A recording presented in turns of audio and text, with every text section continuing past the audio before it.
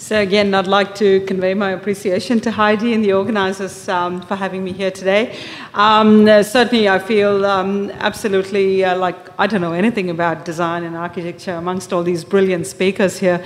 Um, I'm just a scientist and an engineer who's um, uh, looking to make a contribution, so I feel really overwhelmed amongst all these amazingly creative and uh, brilliant people. So thank you for uh, this opportunity to be here today. But I guess this is how I see beauty: is I see it in, in a whole pile of, I don't know if you've guessed what this looks like um, or what it is actually. Um, so I'll, I'll, give you guys a moment to just stare at it long enough to see if it actually uh, kind of comes across. Uh, hint, hint, we're he headed towards a car. So the first one uh, was a stockpile of tires. Uh, we've got um, waste glass. So you might say, well, where are we headed with all this? A whole bunch of pictures from landfill sites. And this is even better, right? So all the cars stacked up. And um, I guess the, the goal of the work that we do is really to be able to, in a way, appreciate um, the kind of resources that we as human beings um, throw away into landfill. And, and our goal is really to look well and truly beyond um, a conventional sort of recycling strategy where, of course, the goal is to convert plastic into plastic and glass into glass. I mean, you can see there are so many different types of plastics uh, in a car and in a lot of the products that we use, whether it's electronics or what have you. Um, I think a lot of these types of materials um, indeed are complex because they're engineered to do the job for us. So, glass, for example, in cars is designed as safety glass. Um, so, clearly it's meant to keep us safe, but by that same token, it actually becomes quite difficult. Um, I don't think that's going to actually play because you probably need um, you probably need my USB stick. So that's all right. We can probably get to it at the end if we've got time. But what we are really looking at here is creating um, value-added alloys. On the right, you can see we've created high-value, high metallic, uh, high-value metallic products from a combination of waste glass and plastic. See, waste glass and plastic on the left reacted at high temperatures, and of course, that has uh, produced high value alloys for us. Uh, same thing, the story about rubber tires, using that in the process of making steel. So, what we are really doing is um, looking at beyond the conventional recycling sort of strategy of saying, uh, well, you know, we'll convert rubber into rubber and so on. We actually are looking at the kinds of elements that are present. So, glass contains silicon, so we produce alloys that actually uh, contain silicon. These are high value elements. Uh, of course, traditionally, what you have to do is go and dig up your ground and dig up resources from the ground. So that's exactly what we are advocating, that we don't have to do that. We can look at our end of life resources and use that uh, to produce high value output. So that was an example of how we've produced steel, uh, and it is commercially operating um, here in Sydney, and also the technology has been taken up internationally.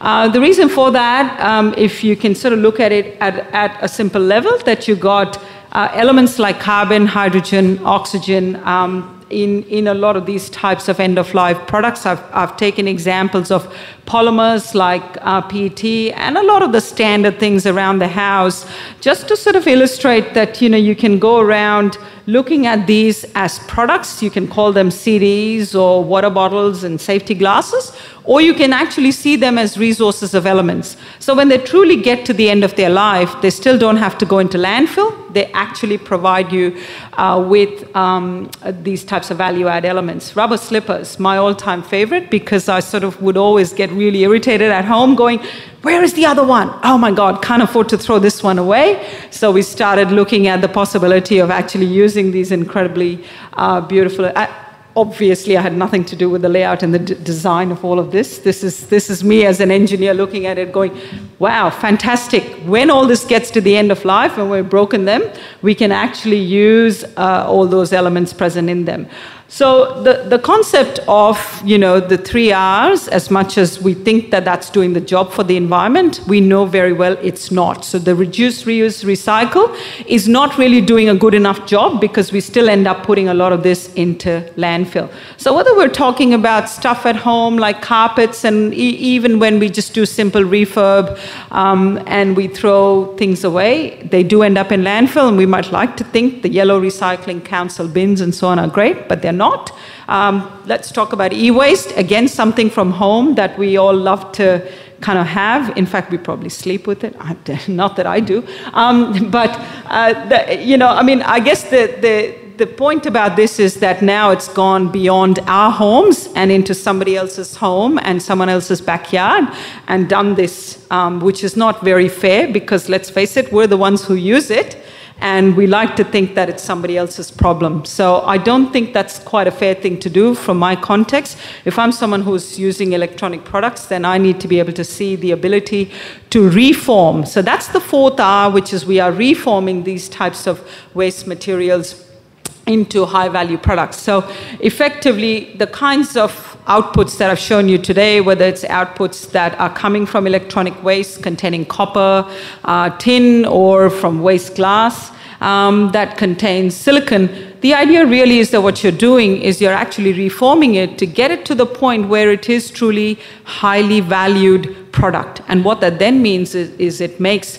reforming waste actually economically viable. Because it's not good enough to say, well, let's create a solution that's not going to run because no one's willing to actually you know invest their time and effort into it. So our goal really is to work with industry partners who are willing to take the risk in terms of of course supporting the r&d but also being the first to commercialize a lot of the work.